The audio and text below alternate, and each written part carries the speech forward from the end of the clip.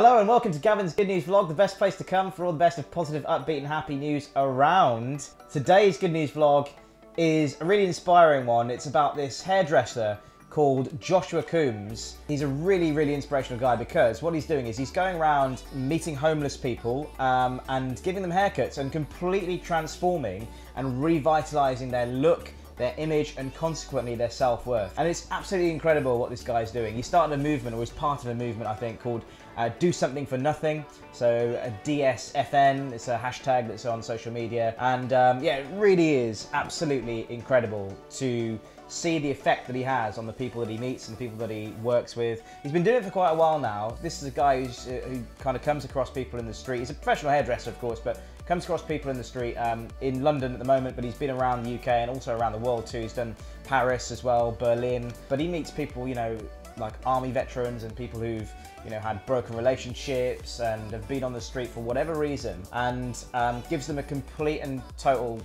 contrasting makeover let's just have a look at some of the work he's done now and you know it's just absolutely incredible to see the change and transformation not only in look but also in personality of the people he works with the reason I started cutting hair on the street initially was actually the magnitude of the problem, like seeing how big this problem is in each city. It's really hard to know what to do about that, and, and I think it was from that feeling that I had to impact today. I had to do something positive to make someone smile, and realize that even if you can't solve a problem, actually it's okay to just do your own thing. And for me, that's hairdressing. I love what I do, so it's a great way to be able to um, give someone confidence. For me, like one of the most amazing moments is giving someone the mirror at the end of the haircut, because it's great to see someone's reaction because they might recognize someone they haven't seen for a few years. Five, four, three, two, one, ta-da! I'm 20 years younger. Oh, yeah. yeah. Stuart, what we saying? Nobody's going to recognise me. Mate, you're a, you're a new man right yeah, now. thank you. Uh, everybody basically has a story, and I think one of his core tenets, and um, what one of the things that I think that makes this campaign really, really stand out is that uh, it's not just about giving a homeless person a haircut and a bit of a you know a bit of a trim. It's it's all about hearing their story and hearing like you know their their life journey and a lot of these people just want to be able to talk and express that. And most people don't give them the time of day. I don't know whether you just sort of walk by and not necessarily engage with homeless people, but I certainly don't really. And it's, well, it's just, I just think it's a, the done thing in a way. People just have got busy lives. They kind of carry on with their own thing.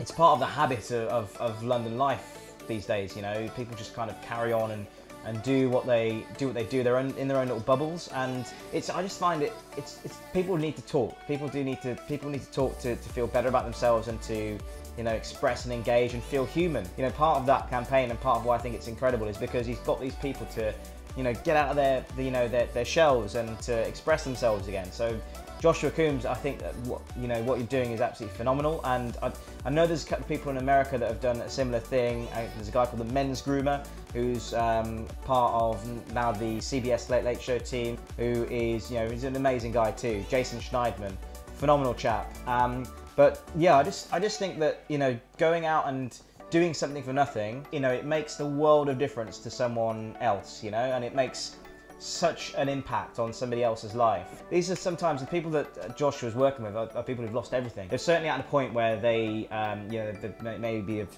spiraled into depression. They may have, you know, um, lost a partner, lost a friend, completely just, you know, lost their job, lost their, lost their kind of their passion for life. Um, and you know they just maybe need that little bit of a helping hand back up again. So I would love to be involved in this Do Something for Nothing campaign in some sort of way, shape, or form. Um, and I'm going to try and think about some ways to try and engage in that.